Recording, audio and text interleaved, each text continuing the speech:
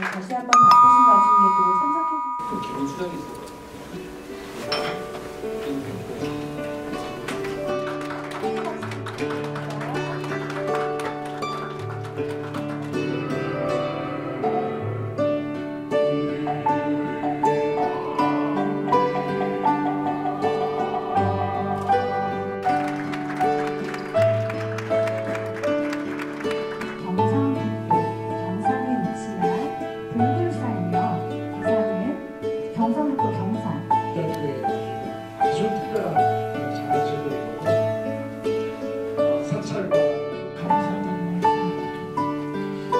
그 하민으로 여러분이 이 불교를 마치면 실질적으로 가고 원에서 주지를 앞에서 이자를 쓰고 있는 충분히 넣을 수 있는 그런 의미를 가지고 국가대학 중어조동학과 김민서.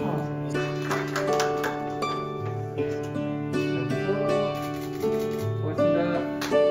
불교를 접한 제가 대신 나왔지만